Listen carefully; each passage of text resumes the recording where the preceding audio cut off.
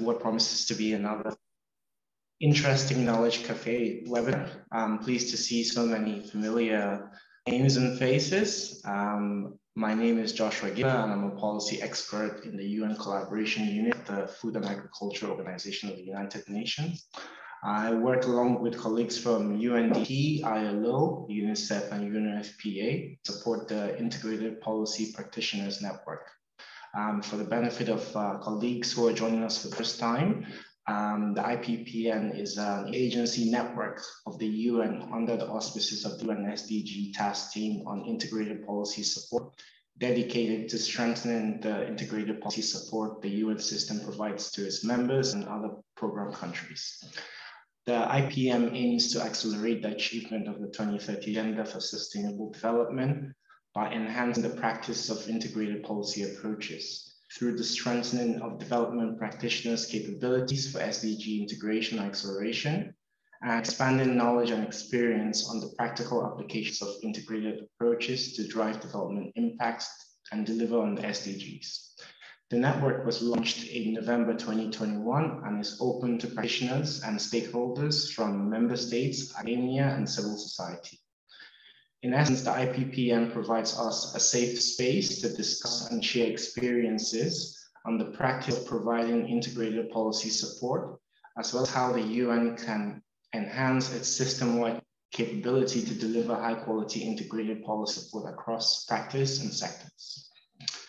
This Knowledge Cafe webinar series is one of the pillars of the IPPN and creates momentum to build the IPPN community and offer ongoing engagement opportunities.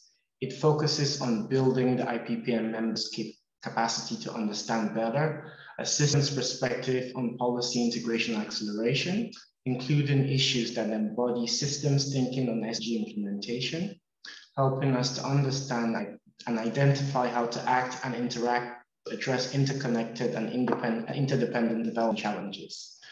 It also assists us to understand integrated policy solutions, including curation of tools and resources that support design and implementation of cross-cutting policy solutions. This is the sixth Knowledge Cafe webinar, and we will explore how an integrated approach to migration, sustainable reintegration, and development can accelerate the 2030 agenda we have an opportunity of tapping into the wealth of wealth and knowledge and experiences um, which the International Organization for Migration has built upon its extensive work and expertise and through global research on good practices and lessons learned, identify approaches and guidance for actors providing reintegration assistance around safe and dignified return and sustainable integration. In today's presentation, we will hear how IOM supports states and practitioners to empower returning migrants from an integrated policy perspective by operationalizing its comprehensive approach through the Integration Handbook, which was published in 2019, and also the establishment of an EU IOM Knowledge Management Hub dedicated to return and sustainable integration for capacity development, sharing of tools and policy practitioners, with policy practitioners. I'm delighted to introduce and welcome our IOM colleagues, today's presenters, Thomas Ernst and Joy Pauni. Thomas manages the Mainstream Migration International Cooperation and Development Initiative at the IOM Regional Office in Brussels. Thomas and his team create tools to support migration and development planning within EU institutions, EU delegations, UN agencies, and UN country teams. The goal of this work is to integrate migration across all sectors of development and to elevate migration within the UN with a specific focus of supporting UN SDGs. Thomas previously worked with the IOM Regional Office for Asia and the Pacific as a socioeconomic response officer and senior regional labor mobility and human development officer. He has previously worked for IOM in Iraq and Tunisia and spent about a decade working with the UN and the World Bank in Europe, Asia Pacific, East Africa, and the Middle East. Joy is a project officer for capacity building as part of the EU IOM Knowledge Management Hub at the IOM headquarters, Geneva. She has over nine years of work experience in the field of migration in the US, Ghana, Switzerland, in case management, donor project management, and ME, recently focusing on, my, on uh, reintegration. So before handing um, the floor to uh, Joy and Thomas, um, just a few housekeeping um, um, rules. First, um, this session is recorded and will be posted on the IPPN page on SparkBlue and YouTube. We kindly ask you that you mute your mics for the duration of this webinar, but um, the chat functions will remain um, open and available for you to share your questions or reflections in the presentation. And as the name implies, the Knowledge Cafe really promotes an interactive discussions. So we would uh, encourage you to share your thoughts and we'll open the stage for, for, uh, for you to jump in and, um, and share any questions or comments you might have. So over to you now, Thomas. Thanks. Thanks a lot, Joshua, and great to be here at the IPPN today and this afternoon. So my name is Thomas Ernst, and I am the program manager at IOM in our regional office in Brussels, and I work as part of IOM's migration and sustainable development team, which aims to support development and migration practitioners to leverage migration for sustainable development in all communities. Specifically, here in Brussels, I am managing an EU funded project focused on mainstream migration into international cooperation and development. And through the work of this project, we've been able to build partnerships within the UN system to work holistically across mandates and sectors and really focusing on one United Nations and with national and local governments to make the complex and mutually reinforcing connections between migration and development easier and simpler for development partners to spot and meaningfully reflect in their own projects and programs. So before getting into how this can be done, I first want to explain why. Why are we doing this? Why is it important to consider migration within efforts to advance the sustainable development around the world and achieve the SDGs, the Sustainable Development Goals? So to answer this question, I want to first start with a story about Surja. Move to the next slide on Surja, please. Surja is a, Nepal, is a Nepali man from Jhapa who, like many of the families in rural Nepal, relied on agriculture for their livelihood and for his livelihood. He had to drop out of school at a young age to take over responsibilities at home when his father became ill. To help make ends meet, he decided to move to Qatar and then Dubai to work and support his family. In early 2020, he returned to Nepal to attend his brother's wedding. And as we know, soon after, the COVID pandemic hit the world. He made plans to return to Dubai as soon as possible when he heard the news that the United Arab Emirates was implementing a lockdown, so as obviously not to lose his employment. Unfortunately, it was too late as the lockdown was already in place and all flights were canceled. With the only source of income for the family taken, his family was unable to settle their debts. And when creditors started to knock at the door and demand the money that was owed, they then had to borrow from elsewhere to settle their current debts, again, putting them into a cycle of financial debt. Unfortunately, Serge's story is all too common. Serge's story, I think, highlights some of the reasons why it's important to consider the interlinkages between migration and sustainable development. So, for starters, emigrating from Nepal was seen as an opportunity for him to provide for himself and his family back home, reducing poverty and inequality, and making it easier to access and afford services such as education and healthcare.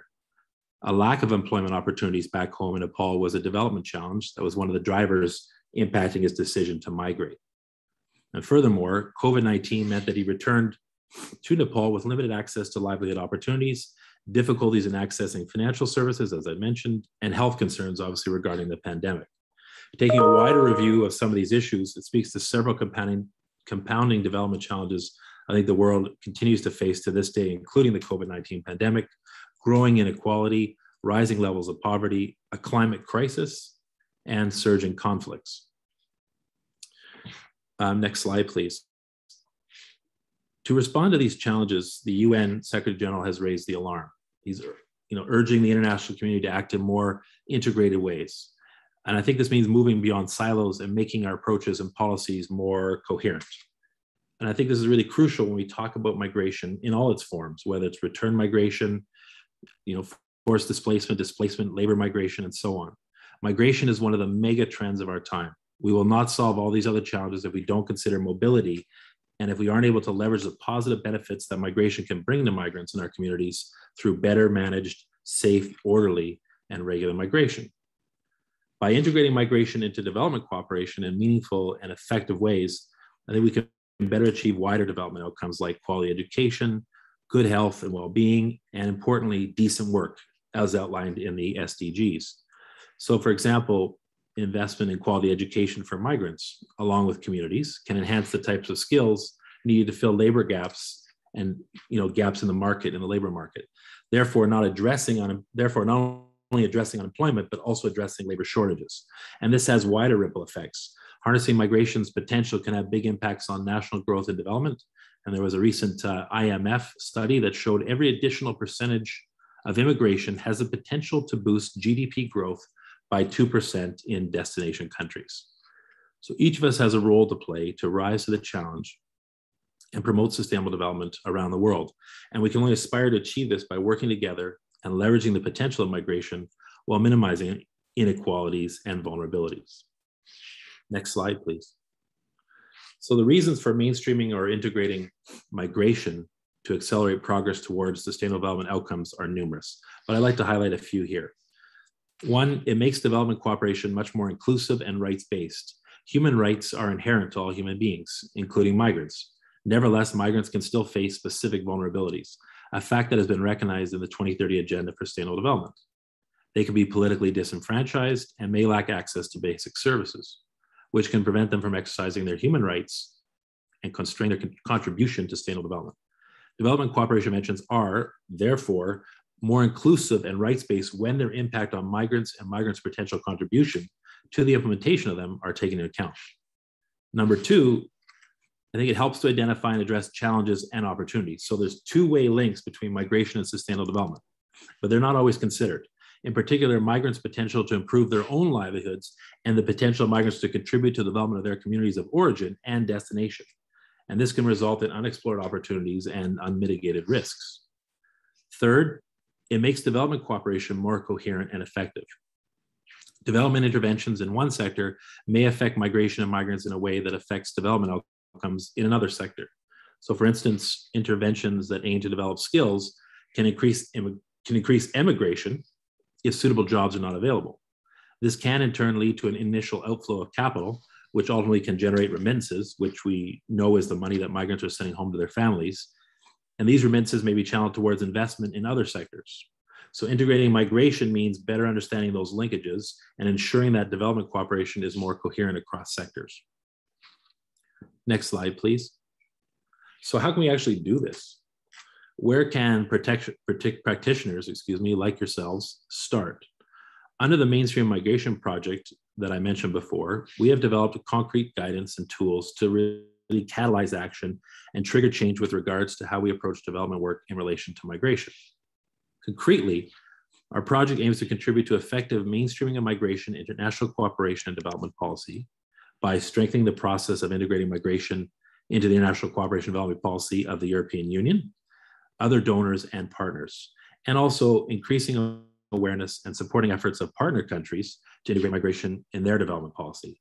So to arrive at this improved understanding, both conceptually and operationally, we developed a package of resources in close collaboration with a wide, wide range of UN partners. Over 11 different UN agencies helped, code, helped us co-develop some of these resources. So part one of our package of resources is a focus on guidelines, which introduces background information, facts and figures, conceptual frameworks, and essentially key resources to support migration mainstreaming efforts. Part two are the toolkits of our package of resources, and these contain a series of tools for mainstream migration into the European Union and other donors' international cooperation and development efforts. But it's also useful for any practitioner really looking to integrate migration into their topic of work. And these include a toolkit for general use and a set of toolkits to be used specifically for mainstream migration across development sectors, nine different development sectors. So for example, there's toolkits on migration and climate change, health and education, and tools in the toolkits on things like indicator banks, theories of change, stakeholder analysis, problem analysis, situation analysis, and so on. And you know, moving beyond the theoretical and the knowledge products, we've already piloted several of these tools in, in practice in real life situations. And we recently held a session with the European Union delegation in Cairo to support them with integration, integrating migration into their develop, into the development priorities for the country of Egypt. We've also worked with national and local governments in Ecuador, Nepal, Madagascar, and Kenya. And interestingly, in Ecuador, the mainstream migration toolkits were adapted and localized to support 120 decentralized autonomous governments in Ecuador, with integrating migration into the four year local development and territorial management plans. So, again, mainstreaming in practice beyond just the knowledge products. And finally, part three of this package of resource is the training, which brings the content of the guidelines and toolkits to life through a blended learning approach that consists of an e learning course and complementary webinars. So, the tools can really help practitioners from any kind of background to work on and consider migration in their work but they complement other more broader tools that have been developed by IOM. So for example, if you are a national or local government looking to integrate migration into your work, uh, implementing the 2030 agenda into your voluntary national reviews of the SDGs, for example, then the Migration and 2030 Agenda Guide for Practitioners is your guide. And it even includes a booklet mapping specific migration linkages to SDG targets. And I think a few of my colleagues will be able to just put some of these links uh, in the chat as I'm talking here. If you're working on implementing the Global Compact for Safe, Orderly, and Regular Migration, the GCM, or you're part of a UN country team and you want to work more closely on migration issues, then we have guidance for national governments and other stakeholders, and UNCTs have been developed under the UN Network on Migration. And again, you can find some of these links in the chat box. If you just want to exchange information with other migration and development practitioners, or just generally explore this topic further, then the Migration for Development Net, or M4D Net as we like to call it, is a global hub and a community of practice that brings together practitioners and policymakers from all over the world to exchange ideas, develop skills, and really consolidate partnerships. This platform includes all the above guidance and more and can act as your uh, one-stop shop. These resources and tools can be used to support actors to mainstream all kinds of migration and development efforts at every step of the migratory cycle. My last slide here, slide seven, please, uh, turning to the next slide. Now you have the tools, but how do you apply them? And I want to just mention, we actually uh, just finished doing this in Nepal.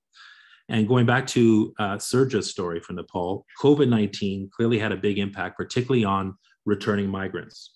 To help measure this impact, technical assistance under a project was provided to assess the COVID 19 impact on returning migrant workers and their communities in Nepal.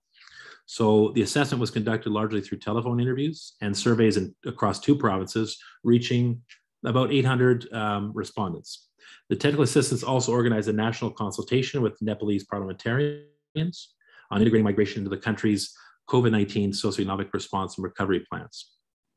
Moreover, the technical assistance provided guidance to the British Council on how to adapt their vocational training activities to the needs, the specific needs of returning migrants in Nepal, and commissioned the capturing of stories of returned migrants and their families and communities. It also helped to enable development partners to understand the COVID 19 impact on returning migrants and their communities in Nepal and develop more migrant, migrant sensitive COVID 19 response and recovery interventions. So, in line with these efforts, IOM has built up its extensive operational work, building upon that extensive operational work, expertise in global research on good practice and lesson learned to identify approaches and guidance for stakeholders providing reintegration assistance as called for in Objective 21 in the GCM. Let me stop there I'm pleased now to hand the floor over to my colleague Joy Paioni, who will focus in on IOM's specific area of expertise supporting returning migrants for sustainable reintegration. A particularly important type of human mobility that we can harness to recover better from COVID-19 and hopefully get ourselves back on track for achieving the sustainable development goals and sustainable development. Joy, over to you. Thank you. Great, thanks a lot, Thomas, and thanks for the for the introduction as well. So as Thomas mentioned, we'll now really look more specifically at one area of migration, which is reintegration. And it's an area that's sometimes oversimplified or, or misunderstood because after all, once migrants return back to their countries of origin, they're no longer migrants, they're citizens of their country and they have the same rights as the rest of the population. But really, this process of readaptation is not an easy one, especially for migrants who return to their countries of origin because they are unable or unwilling to remain in the host or transit country. So it could be for many reasons. Um, they might find themselves in an irregular situation, their asylum claim has been refused, they find various obstacles in integrating in the host country, um, they may be stranded in a transit country. Um, their family situation back home requires them to return. And as we've seen also recently um, with the COVID pandemic, they might have to return because of that. Um, so in these cases, migrants can be assisted to return to the country of origin. And there's also cases where they're forced to return. But once they're back, there are a huge number of factors that can affect the reintegration process. So the returnee, as mentioned by Thomas, might have accumulated debt uh, for their migration journey that they might need to repay when they return. They might have um, children who were born in the host country and they don't speak the language in the country of origin. The family and the community may perceive the returnee negatively as a failure. Um, the local job market and access to services, which could have been a reason why the migrant migrated in the first place, can still be a challenge. So there's many other factors, uh, all of which really need to be tackled if we want to achieve sustainable reintegration. So that's easier said than done. So how do we go about it? Um, so on the next slide um, is first to um, have a common understanding of what we want to achieve. So in 2017, IOM developed a definition for sustainable reintegration, which you see on the slide. So it is that reintegration can be considered sustainable when returnees have reached levels of economic self-sufficiency, social stability within their communities, and psychosocial well-being that allow them to cope with migration or remigration drivers. Having achieved sustainable reintegration, returnees are able to make further migration decisions a matter of choice rather than necessity. So I want to highlight three main points uh, that comes out of this definition. First, that reintegration is multifaceted, um, a multifaceted phenomenon that refers to three dimensions, economic self-sufficiency, social stability, and psychosocial well-being. It concerns returnees, but also communities to which they return, and it's linked with structural factors in the external environment. Secondly, as we see, remigration doesn't necessarily imply a lack of sustainability, what counts is whether new migration happens as a matter of choice or not. And this is also aligned with the Global Compact on Migration um, wording. Uh, and thirdly, we see in the definition that the factors affecting reintegration are not dissimilar to those that pushed migrants to leave in the first place. So next slide. So based on the definition, IOM developed an integrated approach to reintegration uh, recognizing that achieving sustainable reintegration requires a holistic and a needs-based approach. So this chart that you see here um, recaps a bit this approach. So it takes into consideration the various factors in impacting reintegration, as we've seen the economic, social, and psychosocial dimensions. And it's across uh, different levels, individual, community, and structural. So as you can see, it needs to be supported by strong evidence base with monitoring, evaluation, and learning surrounding all of this. Clearly, this isn't an approach that can be implemented by one organization or one agency alone. It requires strong collaboration and partnership across many different sectors and at all levels, working with local actors at national level in the countries of origin and between countries of origin and host countries. It also needs to be situated within a wider migration management strategy. So this is the framework. So how do we do this in practice? If we go to the next slide. So IOM has been implementing return and reintegration programs for over 40 years. So based on this experience gained, uh, in 2019, we published a reintegration handbook which aims to provide practical guidance on design, implementation, and monitoring of this integrated approach to reintegration. Uh, so it's available for all reintegration practitioners in English, French, Spanish, and Arabic. Um, and similarly to the tools that Thomas presented, there's an e-course that accompanies it and a training curriculum linked to it. And so far, we've been able to train over a thousand participants in these last three years using the curriculum. So what we're seeing now, uh, after a few years of um, having this, uh, this approach of having the practical guidance, different projects, trying to implement this approach, um, we're seeing that this definition to sustainable reintegration and the integrated approach to reintegration is increasingly recognized as a basis for reintegration programming um, and is being adopted in several countries, um, including the governments of Bangladesh, Senegal, Ethiopia, for example. Uh, we also have another tool on the next slide with uh, the EU IOM Knowledge Management Hub. Um, and it has a dedicated return and reintegration platform. So you should see the link coming up in the chat now. Um, so this platform brings together um, close to a thousand members through a community of practice uh, where it organizes regular webinars quite similar to this one on specific topics related to return and reintegration. Um, and there's a large repository of resources. Um, the Knowledge Management Hub also creates um, knowledge through a research fund.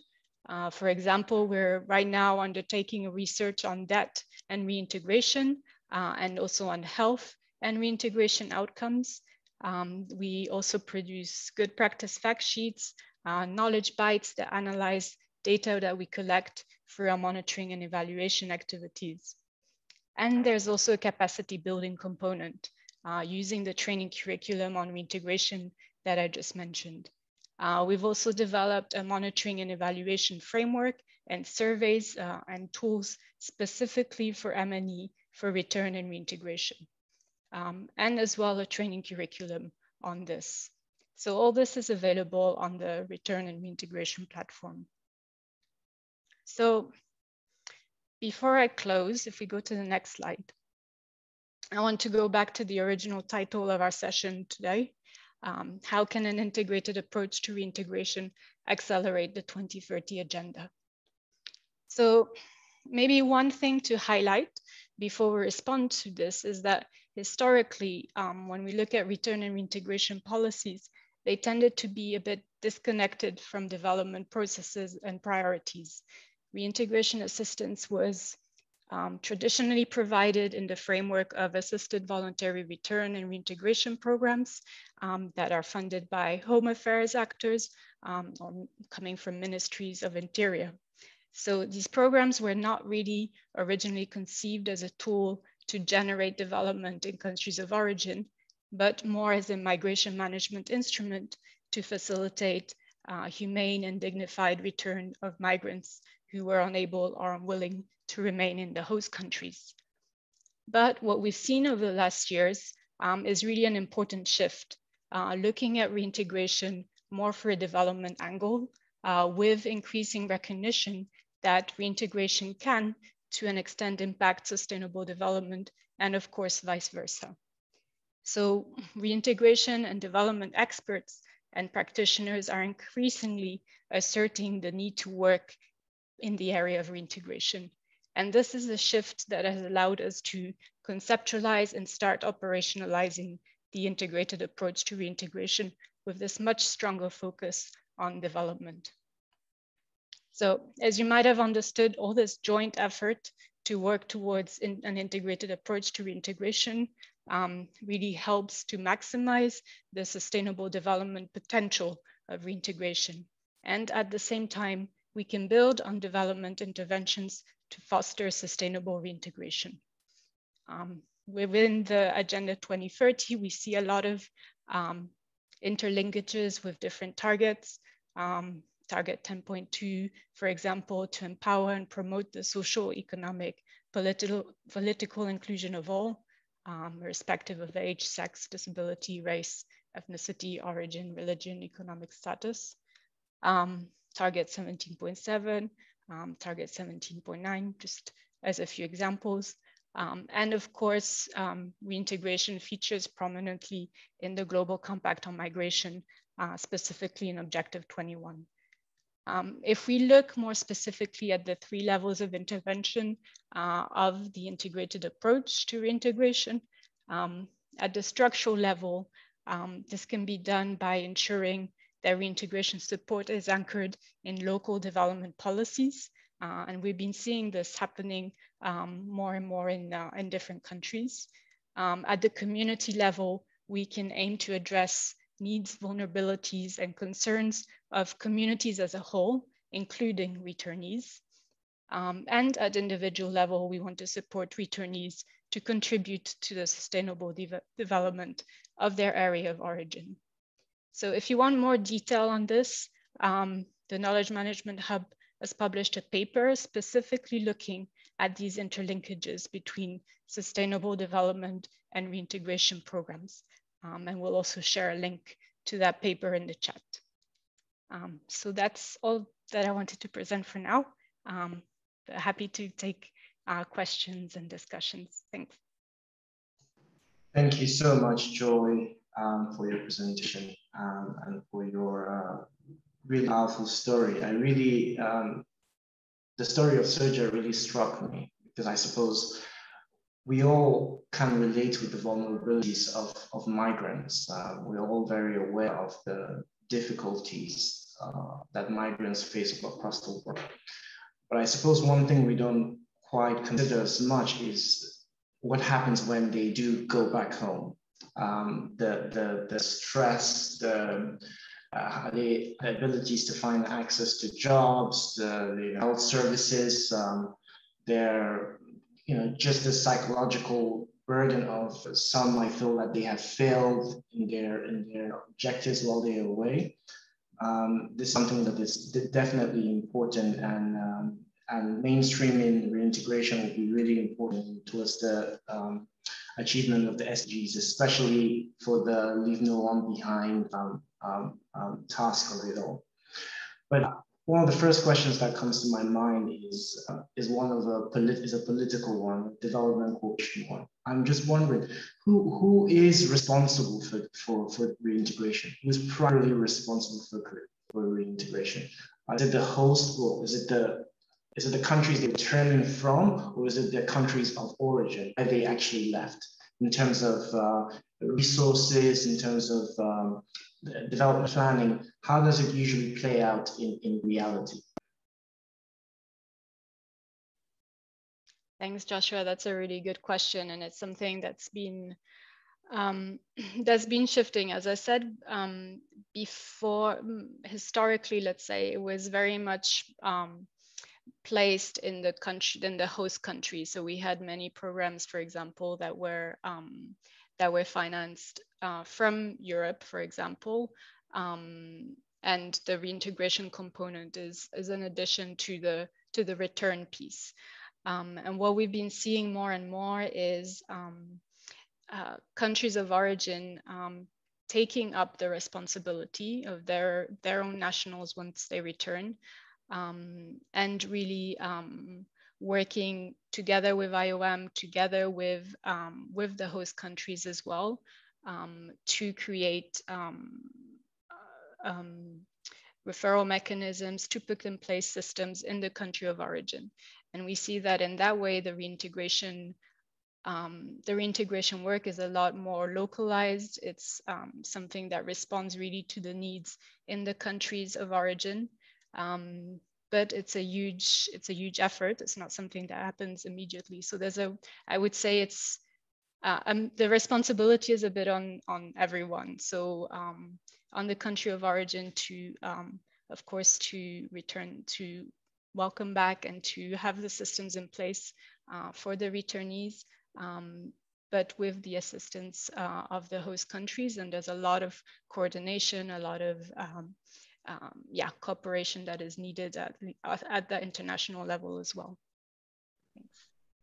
Could I just build on that a little bit? I think Joy's answered the question really, really well. Just to say what I'm seeing in the um, working so close with the European Union is they have, um, as part of their Global Europe program for the next um, five years or so, something that they're focusing called the um, the whole of route approach. So really, as, as, as Joy is saying as well, looking at the origin, transit countries, destination countries. So it really is everyone trying to integrate that together. And then just through our mainstream migration program, as I mentioned, we're going into some of these different EU delegations and really working with them to, to really mainstream that migration into the priority development sectors that they're working on and that they want to support, obviously in co- coordination and collaboration with the country governments and really taking that whole of government approach. So uh, just another way in terms of how we're how we're looking at this and working with our partners on it. Over. Thank you very much. Um, here in, uh, in IP, IPPN, we talk a lot about developing new tools for integrated policy analysis and, and, and, and, um, and one of the things that we've realized over the past well, now six uh, Knowledge Cafe uh, webinars that many of these tools actually do exist. They're, they're, they're out there. I was um, I was really keen to hear about the toolkits you mentioned for stakeholder analysis, for example. I just finished the exercise on uh, analyzing some non-country analysis of, uh, of some countries that clearly were missing the stakeholder analysis, which was an important part of it that was missed. Um, but my thinking now, uh, my question for you now is um, some of the tools you mentioned, uh, you presented the, in, in, your in the presentation earlier.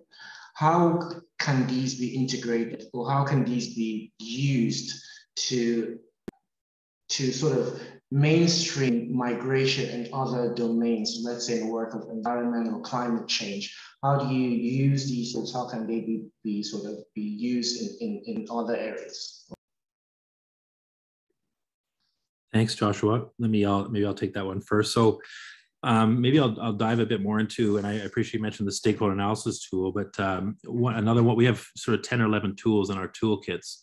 But let me dive more into the situation analysis tool. So to kind of, and I think it answers your question as well on the stakeholder tool. So the tools we used, in particular the situation analysis tool, we used to gather information and evidence to inform really a more nuanced understanding of, again, those connections between migration, uh, for example, uh, and the particular sector you're working on, maybe it's private sector development, trade and health, and just really looking on that in the country or region of focus. So this tool can be used at the start of the programming phase. And again, our tools are applied to the different European Commission programming phases where you can analyze the migration situation, how it intersects with the priority development sector, or in the design phase. And as much as I mentioned the EC European Commission and you know intervention cycle, I think it fits with a lot of different project development cycles used by many different development practitioners. So um, let me just take maybe a bit more of a specific case study. From a migration and trade perspective, again, using the situation analysis tool, one of our toolkits really looked at the mobile population of small scale cross border traders who typically deal in low volume, low value food, essential goods, kind of household items for sale in local markets between, you know, within border zones. So they frequently are crossing these border points, these small scale cross border traders. To give you an idea of scale, the IMF estimated that small scale cross border trade was worth half a billion dollars to Uganda alone. And it's worth billions more if you aggregate this to all African Union members. So from a trade integration perspective, UNCTAD, who is one of our partners on this toolkit, private sector development trade, is really working with the African Continental Free Trade Area, implementing the protocol on free movement in persons. excuse me, with a focus on small scale cross border traders. However, through their research, both IOM and UNCTAD are recognizing that beyond the economic impact of this mobile population, we're really seeing that these traders are facing heightened vulnerabilities, including bribery and corruption, harassment, and abuse at border control points, which pushes them towards illegal border crossing points. And again, these issues have been more exacerbated as a result of COVID 19. So, again, the tools within our toolkits with the different UN partners are really trying to get at some of the nuances of these issues and really pushing development practitioners to think about these things as they're developing their projects, policies, or program interventions. Let me let me stop there. Thanks. Thank you very much. And for uh, the rest of the participants, we are, you know, if you have any questions, please uh, feel free to, to type up question on the chat box or raise your hand if you want to jump and make an intervention. Um, in the in the context of the mainstream migration into international cooperation development project pilot, um, that tested um, these mainstream migration approaches in practice across uh, a number of countries.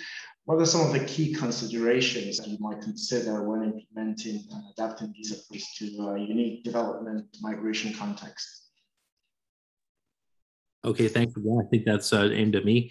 So as, as I mentioned in, in some of my comments, our, our project, we recognize the importance of, again, building these resources and tools with our partners, uh, the European Commission and the different UN agency, but how do we then take these knowledge products and get out into the field and really test these mainstream migration toolkits in a in a pilot type situation. So we spent a few years piloting the mainstream migration work in Ecuador, Nepal, and Madagascar.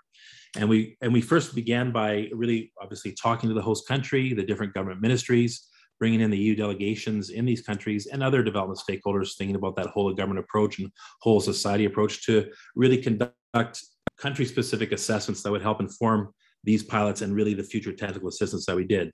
So I think I mentioned in Nepal, we looked at mainstream migration uh, in terms of the returnee and the, and the and returnees after COVID-19 and really focusing on education and rural development sectors in Nepal. In Madagascar, we explored really looking at the rural and urban development sector. And in Ecuador, as I mentioned, really looking at that urban development. We really worked quite closely with a number of local stakeholders.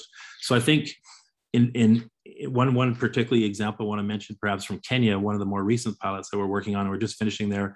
It's really working with the FAO in Kenya to roll out a pilot of our mainstream migration into rural development in Kenya with the FAO, the different uh, government partners and the EU delegation. And just for me, because I've been more involved in this pilot, particularly, it's been fascinating to like really learn about how migrants and the migration dynamic is playing out. I you know so often we think about it just at the national level, and going back to what you're mentioning about a number of different stakeholders and recognizing that, it's fascinating to see how migration, uh, you know, particularly in the Kenyan context, is playing out at the local, county, and community levels. And so the Kenyan stakeholders that I was speaking to and listened with, they really spoke passionately about the topic of decentralization. And I think that's really important when we look at migration and associated policies, that it's not just being set by the national level, that when we're developing these urban development plans at county and city levels, we really look at what migration impacts they have there too. And for IOM, where we really draw on the UN network on migration, you know, a number of countries also have the UN network on migration. So what we were trying to do in Kenya, where we have a UN network on migration, which brings together a number of different stakeholders, UN agencies, how do we then leverage the UN network on migration to further make these interesting connections between national, local levels? So really kind of that vertical policy alignment. And again, I've mentioned we have nine different sectors. So even though we worked on rural development in Kenya with the FAO, clearly we had a lot of other issues on looking at environment and climate change and urban development as well. So how do we start looking at the synergies between the different toolkits instead of just a deep dive on, on one section? Because we know the integrated solutions is, is a part of the over of looking at and tackling some of the challenges. Let me stop there. Thanks very much. In, in, in the in the context of supporting uh, or providing IO provision of support at the country level, are you how does it are you able to provide this support even when you don't have country presence, or how are you able to uh, take advantage of the UN the UN system's country presence to provide uh, support uh, to countries. Sorry, is that named at me, Joshua? I'm, I'm not... Actually, that was that was aimed at Joy. Okay, pardon me. Okay, over to you, Joy. Sure. I mean, we in with IOM, we're lucky, I guess, that we do have that presence um, across many different countries. I mean, even it, there are some missions that are very small with a couple of people, but that does help us to to have that direct contact. Um, and I think with when it comes to reintegration, we have let's say many years experience working directly with the returnees um, individually you know welcoming them at the airport when they arrive um, providing more the individual level assistance and what we've been building up um, over the last few years when it comes to reintegration, because of course we we have a lot of um, um, we have been working on a lot of different levels of different migration um, areas, but when it comes to reintegration, we've been building up um, using the direct connection, the direct um, yeah, the direct knowledge of the needs, the skills of the returnees, knowing them quite intimately and bringing that up um, at the um, with other stakeholders at different in different sectors and within um, local and national governments. So it's um, I guess that's something that we've been able to do because we had that underground um, presence and uh, working directly with uh, with the beneficiaries. So it's translating that then into a larger um, of how do we then put systems in place um, and look at the more structural level. Um, so yeah, it's looking at that from that other perspective, starting from the ground up. It seems there are, because obviously the, the stakeholders and the, the actors in, in this venture are quite diverse. And how do you bring them together? How do you, what platforms are available? I know you did mention a platform earlier, um, but how do you, how do you ensure you have dialogue with all the actors um, for, for, reintegration? Are there any virtual platforms that you use or tools do you employ for that? Um, so it, um, it depends a little bit country by to country and it depends on which programs are in place. I think the biggest programs that are in place right now um, are the EU IOM uh, joint initiative um, programs, which is across most of Africa. Um, and there we, with thanks to EU funding, we've been able to set up in many countries um, uh, um, standard operating procedures, um, a committee specifically looking um, uh, that is multi-sectoral, um, sp specifically looking at um, at reintegration programming and, and setting all of that up. Um, more broadly, because we're we have this integrated approach that's common, it's it does help to um, to have that common approach um, across different countries. So when we are able to bring stakeholders together through um, through different uh, through different events, um, then being able to talk the same language, let's say, of uh, starting from that same um, common point, as I mentioned, of uh, uh, knowing what we mean by sustainable development and having this um, this joint approach that that helps um, and yes, through um, through the, the knowledge management hub, the return reintegration platform, uh, through various um, uh, capacity building activities that we also do, um, and yeah, and more broadly when we're when we're able to um, to bring stakeholders together um, through for to speak on, on migration more generally, then we can we can do that. Thanks. Thanks. At uh, in, in support of uh, local development priorities, um, you mentioned the structural level you ensure um, integration support, which is, has to be uh, anchored in local development priorities. Are you able to support below the national level, so, so subnational entities? Are you able to offer support, uh, you know, at, at the subnational level in terms of SDG localization? This is to Thomas. Yeah, I think. Uh, thanks, uh, Joshua. I think, as mentioned in, in uh, my just my last comments, really looking just again going back to the clear cut example of Kenya, to the the when we were working on the rural development uh, pilot there with FAO and the European Union delegation, we saw just how important, as I mentioned, that decentralized element was to bring in those local government stakeholders um, and really bring them to the to the table so that we could have that conversation. And I mentioned the UN network on migration, but I think another important point to mention as well is these different UN country teams. And one of the things UN country teams do that I think is so important to the development of a country is, is work on these UN United Nations sustainable development cooperation frameworks, which really are sort of the sort of the guiding document over the next three or four years for that country of where development priorities are um, as a UN system, obviously in close collaboration with the governments. And so other stakeholders, I mentioned the EU that I'm working with and our teams working with here are obviously building their interventions off of that as well. And what we've done in our migration and development team is really try to develop a toolkit to support IOM offices to make sure that we can integrate migration elements into those cooperation frameworks and not just migration but the elements of migration that you know joy's been talking about as well the, the return and the returnees situation because a lot of times people think about migration it's very much just okay labor migration migrants no it's also the returnees piece the impact on communities bringing all that into the cooperation framework and making sure all those lenses are factored in and considered is so important as well. So we really try to make sure that that's built into the unct through tools on integrating migration into these cooperation frameworks and common country analysis as led by the UN team there over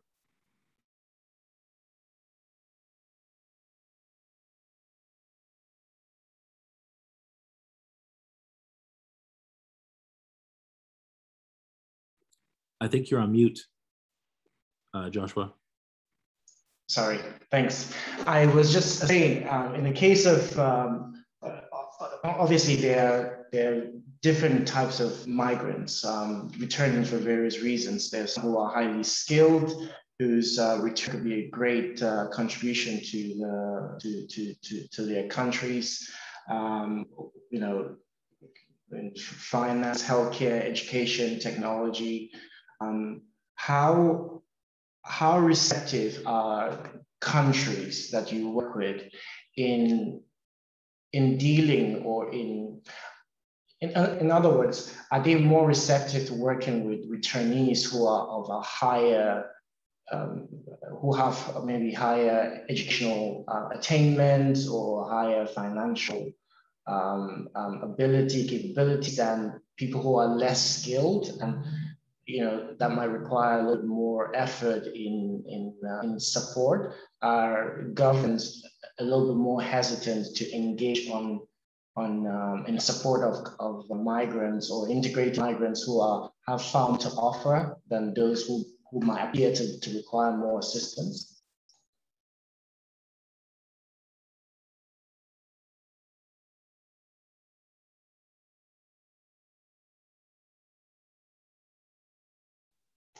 I guess I can go first. Maybe Thomas, you can complement.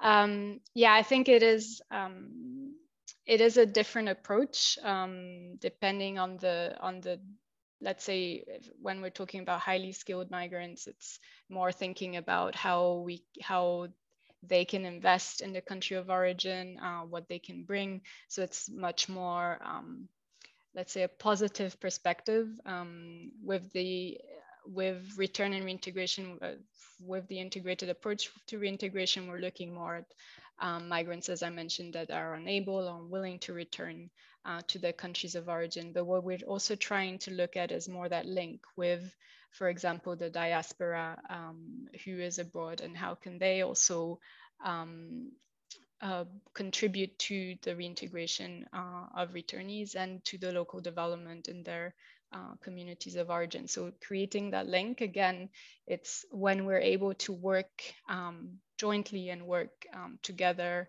um, and see all the different uh, ways that everything can kind of fits in in the end. Um, I think that's the the key to be able to do that. Um, but it does, yeah, there are very different approaches and it does require a different um, a kind of way of uh, of understanding it. Yeah, thanks. I think I was just going to just add that I think just essentially it's about making sure that every migrant, uh, no matter their situation of, of vulnerability or, or, or, not, that they have a seat at the table when it comes to migration governance processes in the country, that they're there. And those, those processes don't just have to be UN processes or EU processes, but even decentralized community processes, you know, post-conflict, for example. I remember when I was working in Iraq where we would bring private employers together to talk about how we can improve the linkages between the local labor market and the vocational training skills that were happening in Kurdistan and making sure that migrants' voices are involved in that. So all those different migration governance processes, making sure they have a voice is something where we obviously need to keep advocating for and pushing and making sure that that's part of it, that no one is, is left behind, so to speak. Over. Thank you very much. I understand that we have a, question from the chat. Um, is there a specific SG that IOM is currently targeting um, most? I mean, I think uh, don't want to speak for you, Joy, but I think in, in IOM it's um, obviously 10.7 and SDG 10. But to my colleague Audrey's point there in the chat as well, when it comes to migration, uh, we see ourselves in all the different SDGs. You can link migration to every single SDG, but a lot of people do under the 10.7. Um, and you know, I've spent a lot of time working on remittances as well. This 10.3 lowering the transaction cost of remittances, we know that's critical for for migrants as well. So honestly, migration is really integrated across all the different 17 SDGs. Thanks. Well, well, that's a that's a really important point to, to note. And in, in, since migration is so cross-cutting, how do you, as part of your work, do you support in terms of data collection? Do you support countries? I mean, see clearly that uh, many, many developing countries are very interested in uh, the, the, the abilities of, of, of their, you know, diaspora to contribute to especially sustainable financing. We've seen how the Ethiopian government has uh, developed a diaspora trust fund um, to have a more holistic and systemic view of the contributions of diaspora in terms of not just finance, but also technology and skill set. So uh, is, uh, is data collection uh, something that you are putting some resources in? And also have you had any requests for support in the VR processes for, for countries? I, will go first. I mean, it's absolutely crucial. Obviously, data to how we're uh, driving evidence-based approaches to our to our work. Um, I mean, for for example, when we were in Nepal, just to be able to do uh, a survey across two different provinces there with 800 respondents and really bring that information, what returnees were telling us in terms of needs and livelihoods, and being able to have that research uh, available to present to government and not just government. I mentioned the British Council as well. Obviously, can really inform the success of your interventions and the ability to make sure that we can actually address those needs. So data, absolutely critical to IOM. Um, one of our biggest data points is the uh, displacement tracking matrix. I mean, we're using that in many, many different places right now. Uh, people are aware of the Ukraine crisis that's going on right now. DTM is super present, obviously, tracking information on the ground related to, to Ukraine, but all over the world as well. So data and, IOM, obviously, it's, it's, it's um, hand in hand. Uh, let me stop there and let Joy have anything else to add on that. Thanks.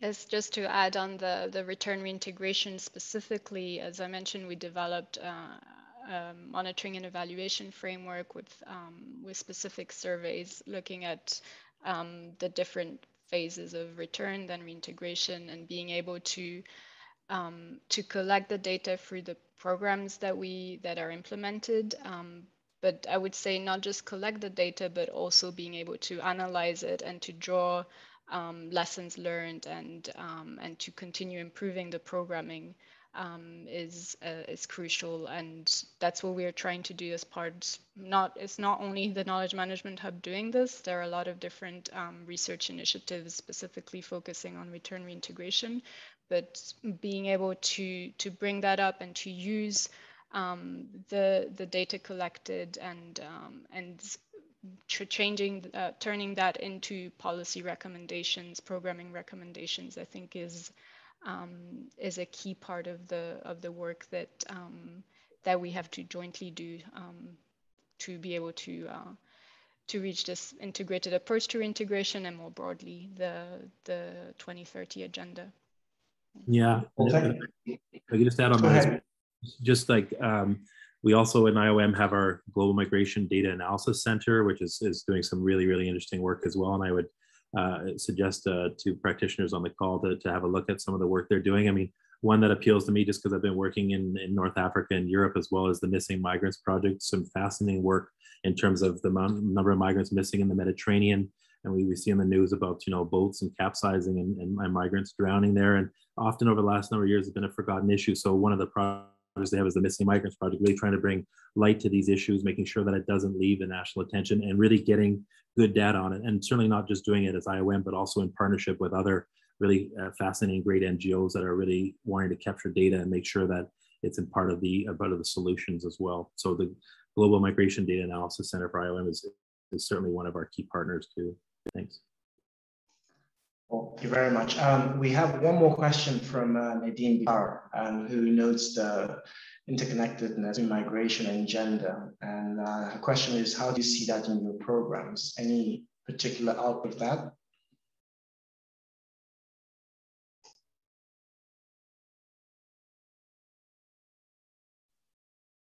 I can go first. Um, so on migration and gender what we well on reintegration and gender what we what we see with um, those that that are assisted to return um, there the large majority are actually um, male returnees.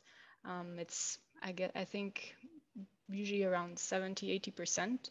Um, in it depends you know it depends on the different regions but mostly um, it's uh, it's male returnees. So the female uh, returnees, um, it tends to be a little bit, yeah, uh, hidden, I guess. Um, but we we did actually a research on um, on gender and reintegration outcomes, um, which I think, yes, I see that um, Francesco is just um, has just posted it, and we see that indeed there are additional um, kind of challenges that they have to overcome as women often um, when they're when they're um, reintegrating. Um, I'm not sure we have a lot of time to go into it, but I, I, I encourage you to look at the at the research about that. Um, but I think more widely, maybe Thomas can can add to it. No, I think uh, that's great, Joy. I, I'll, I think what you've added is, is fantastic. I'll, I'll, I don't have any more to add. Thanks. Well, thank you very much. Um, we have just about a minute left, uh, so I'm not sure if anybody else has a question would, would like to take the floor. Um, but in absence of that, I would want to thank you, Joy and Thomas, for, uh, for, for this, for your time and this wonderful presentation. Um, as I mentioned earlier, um, this recording will be uh, made available on the IPPN page on Spark but we'll also um, invite you all to, to join the, the network and to uh, check out our um, page on sdgintegration.undp.org slash IPPN, as well as sparkblue.org, uh, where you can sign up for uh, and to receive updates about IPPN and future events. Um, but uh, this conversation can keep uh, we can keep this going on SparkBlue. You could share comments or if you have any sources to share, um, or if you want to suggest another um, um, uh, webinar um, that could be of interest to, to, to us uh, practitioners. Um, we thank you very much and we look forward to having you um, again soon. Thank you. Thanks, Joshua. Thanks, Joy. Thank you, everyone. It was a pleasure. Goodbye. Thank you. Thank you. Thank you very much. We are happy to hear from all of you. Thank you very much.